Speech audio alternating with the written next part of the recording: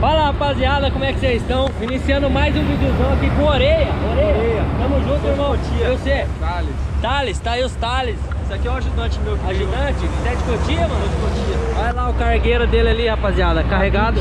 Como é que é o nome desse material aí? É dormente. Dormente, dormente.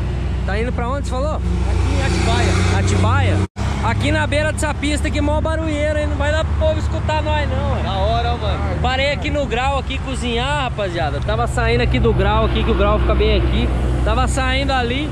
O homem já passou, grudou na buzina. Falou, ô Bastião, louco, para ali pra nós trocar uma ideia. Tamo aí, satisfação imensa, mano. Obrigado por seguir o canal. Tamo junto. E aí, muita correria? Ah, cara, tá começando a dar uma melhoradinha. É? Você viaja pra todo lado? Ah, eu gosto mais de viajar combinado, né? De Ida e volta. Ida e volta. Mas você fica mais por dentro de São É, Paulo, hein? eu já gosto muito de volta, entendeu? Ah, entendi. Mas o máximo mais longe que você vai é Ah, quanto? Belo Horizonte, mais é a linha que eu gosto de fazer. Ah, você. 600 km. Até mil quilômetros. A vantagem do, do- do- dessa linha São Paulo BH que de lá pra cá tem carga toda hora, né? Então já não tenho muito contato. Tem não, mano? É, mas lá é bom carga, você não fica no frete Braz, não? Então, eu sou meio arriscado, eu tenho um pouco de cisma de carregar pelo frete gás, causa que você fica para receber o retorno, o É. restante. E eu tenho medo do pessoal não pagar. Não, mas paga, mano, paga. Se não pagar, vocês podem denunciar na página do frete Braz, liga na empresa, faz qualquer É, a negócio. gente tem que fazer um retorno. tem que assustar o povo, cara. Mas então tá bom, Piazinho. E agora você vai descarregar ali, daí você volta vazio? Vazio pra casa. Daí tem alguma programada já? Pra amanhã. Pra amanhã já tem? Mas- Ah, mas então é bom, Aí pô. talvez vão vir pra cá de novo. É o que? 1620? A 1620. Bonzinha, né? Já tá quitadinha? Graças a Deus eu peguei a vista. Ah, é, mano? Faz tempo que tá com o caminhão? Isso aí já tem 5 anos que eu tô com ele, mas eu tinha uma 1316, o só porque eu fiquei 12 anos com ele. Caminhão bom, não é? Então você já tá calejado de estrada, moço? Já tá quase 20 anos? Ei, você? Hã? Você pegou o caminhão em que ano? 2008. Eu peguei em 2004. É, 4 anos mais velho. Melhorou muito, não melhorou?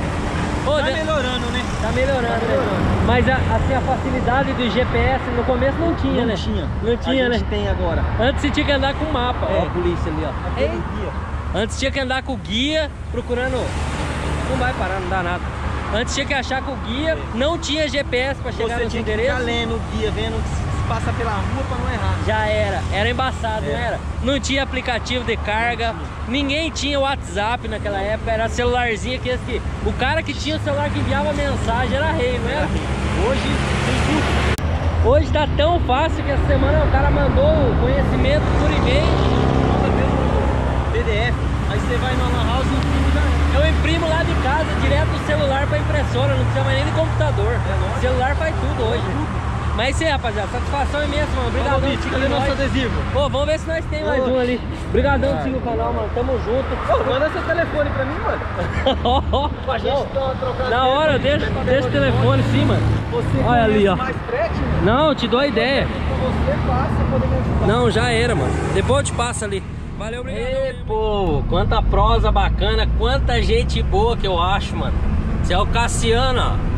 QRA de orelha. Nós tava conversando ali só pra dar risada, bicho, as histórias que o homem tava me contando. Diz que até a polícia quis grampear ele esses dias ali, ó. A altura do carro do homem, ó.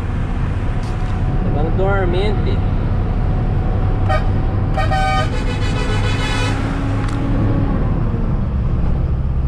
Ei, bom demais, rapaziada. Essa acelerada é top. Obrigadão a todos que seguem. Eu tava fazendo rango ali no grau ali também. Chegou um seguidorzão ali pedindo como é que tinha ficado meu, minha bomba, bico, né? Meu bico em unidade. Eu tinha feito chipado, que ele tinha visto o vídeo. Aí nós conversamos ali. Até esqueci o nome dele, cara. É... Mas resumindo, ficou bom.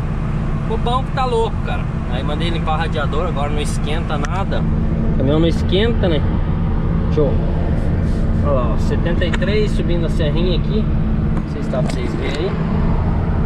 Aí, ó. Bem tranquilinho. Subindo a 45 aí de boa. É isso, rapaziada. O caminhãozinho ficou só o ouro. Unidade, bico novo, carroceria nova, pneu novo. Tudo novo, tudo novo, tudo novo. Só o motorista é velho. Aí ali, ali deu ruim, ali ferveu. Ferveu a McLaren do homem. Serra é daquele modelo, piazada. Meter marcha, cuidar da temperatura, não deixar faltar óleo nem água. É motor infinito. E aí peso é pra acabar, hein? Ele Aí é bruto de peso, moço. É isso aí, pesado. Aí, por hora de chegar ali no postinho ali pra ver a média, como é que vai dar. Se vai dar 5, se não vai. Se der 5 eu fico feliz, hein, jovem. Vou mostrar depois ali. Vou falar também o porquê que eu tô triste, piazada. Ando meio triste nessa viajada. Triste, triste demais. Tá ruim, mas tá bom, mano. Aí. Cheguei no posto aqui, rapaziada, no tanque ali. Diz que no meu tanque para completar, que vai a 210, falta 80 litros. Mas é claro que ele marca um pouco errado. Porque não marca até o gargalo. Vamos ver quanto que vai dar. Ó, a quilometragem deu 503 km. 503 da onde eu abasteci. Vamos ver quantos litros vai. Aqui não sei, né? No máximo 105. Ah, rapaziada, tô meio triste porque tô feliz porque tô carregado, né? Trabalhando bastante. Mas tô triste porque, ó, não tá levinho, como vocês podem ver, ó. É chão erguido e bem erguido, ó. Quem me perguntava se ele tá erguendo bem, ó. Sei lá. Ó minha mão aqui, ó. Quase 20 centímetros, sei lá. 15. É, olha o tanto de espaço que sobrou aqui, rapaziada, ó. Quer ver? Olha aí, ó. Sobrou uns 3 metros, 3 metros e pouco. E eu não consegui arrumar nada.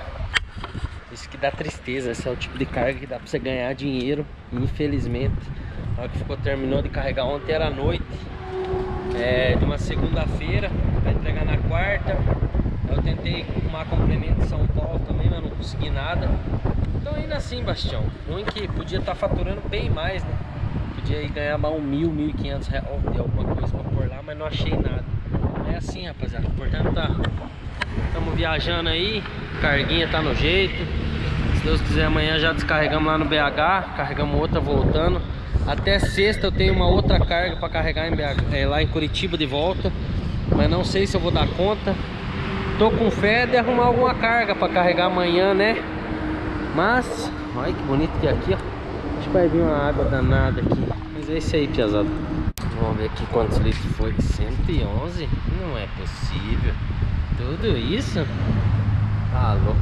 Gastou demais. Boca não deu boa não, piazada. Deu 4.5 de média muito pouco demais, tinha que fazer mais. Só que eu vim correndo, cara. Esse que dá, né? Tem paciência, vem correndo 90 a 100. Aí não adianta. O caminhão fazer média, esse aqui tem lá 85. Nas descidas pode deixar, né? Não pode ficar passando 85 no reto, senão já era. Aí tá bom. Vamos que vamos, né, Piazada? Vamos que Tá louco, Piazada. Parei na postinho lá, não. Abasteci, mas não tinha chuveiro nem pra tomar banho banheiro não tava funcionando. Nada funcionava. Falei pro Piá, mas tá louco? Cadê o povo pra mexer nesse banheiro e arrumar as coisas? Ah, tão vendo, tão vendo. Ah, louco, aí não adianta nem parar abastecer num lugar desse. É uma rede de posto grande aí, cara. Comprou ali recentemente, antigamente era bom. Agora não presta mais não, você tá louco. É aí, piazada. Vou dando aquela tocadinha básica. O caminhão não fez muita média.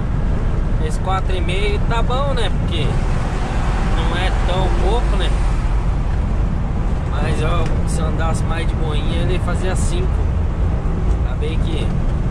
Mas tá. Vamos, vamos que vamos, vamos que vamos. Amanhã descarregar lá, se Deus quiser, já carregar outra carguinha. Voltar pra trás. Descarregar a sexta em Curitiba ver se eu consigo estar tá carregando mais uma que está programado para sexta-feira em Curitiba. Se der, beleza. Se não der, paciência. Vida que segue. E é isso aí. Vamos que vamos. Vai sendo a chegada aqui no Contagem, rapaziada. Graças a Deus, mil km torado. Agora são 11 h 03 da noite. Ancorar o carro. Amanhã cedo descarregar e ver se eu consigo arrumar alguma carguinha que ainda não beliscou nada, né? Já mandei mensagem pro pessoal que eu costumo carregar. Vamos ver se amanhã clarei alguma coisa. É isso aí, pessoal. Tô cansadaço. Pensa que o cara que tá cansado é eu. Isso é louco. Graças a Deus tô chegando aqui. Descansar. Aí, pô, os caras já estão metendo a mão na máquina ali, ó, pra descarregar. Graças a Deus já tá jogando no chão. Hoje é Quarta-feira cedo, né? Carreguei lá em Curitiba na segunda à noite. E, rapaziada, tô vendo uma carga pra carregar aí pra Joinville. Se der certo eu conseguir descarregar na sexta e talvez eu consiga estar tá carregando aquela outra carga que eu já deixei programado para carregar lá na sexta, lá em Curitiba. Tem um porém, Bastião. Tô meio ruim, cara. Não sei se é gripe, não sei se é resfriado. Dor de garganta, cuspindo bastante. É, acho que tô até meio enfebrado, não sei se tô ruim, o que, que eu tenho. Vou ver, se eu não melhorar, aí eu não vou carregar essa sexta-feira. Vou embora, ficar em casa pra dar um ar pra cabeça. Aí se eu melhorar, aí, né, bota correndo de novo, carrega de novo, pau tora, né, pesado. Graças a Deus deu boa viajada, em correndinho. O caminhão fez aquela mediazinha top, 4,5. Era pra fazer mais, mas tá bom. Lá atrás tá aquele colchão, aquela cama que eu ganhei lá no sorteio. Eu não, né? Minha cunhada ganhou no sorteio. Aí eu vendi ela pro Clebão aqui de BH, aqui de Sabará. Vai esperar ele descarregar ali me achar com ele ali pra entregar o colchão pra ele no ategão dele. Já saí de lá daquele descarregamento no mercado ali próximo ao Ceasa. E agora estamos indo ali para em busca do Sabaraguation. Sabaraguation. Qualificar um carregamento lá pro J-Ville, negócio de J-Ville. Aí aconteceu um, um, negócio bem bacana, rapaziada. Eu tava olhando, né? Sapeando flat price ali, aquela coisa arada toda. De repente saiu uma outra carga de uma outra transportadora. O cara pagando abaixo, né? Aí eu mandei mensagem só pra dar uma especulada, só pra dar uma tentada nos caras. O cara falou que pagava um valor, eu falei, mas não paga mais? Falou, quanto? Aí eu dei meu valor, né? Aí ele pegou e falou assim, ué, mas teu valor tá acima da tabela. Eu falei, é, mas a tabela do, da NTT é o frete mínimo. Eu não trabalho no mínimo. Você trabalha pelo salário mínimo? Rapaz, eu achei que o cara não ia nem me responder. Passou uns 5 minutos, falar pra você, ele mandou mensagem que tava vendo com o cliente pra pagar o preço que eu pedi. Vai meu filho, vai, vai meu filho, vai meu filho. É rapaziada, a gente às vezes fica com medo de pedir o salário que a gente acha justo. Pode ter medo não, pode ter medo não que os caras têm disposição pra pagar, tem que pedir. Aí ele ficou se enrolando lá, eu acabei que não fui com ele porque eu estava acertando uma cara com o cara aqui. Não gosto de furar, né? Sacanear também não.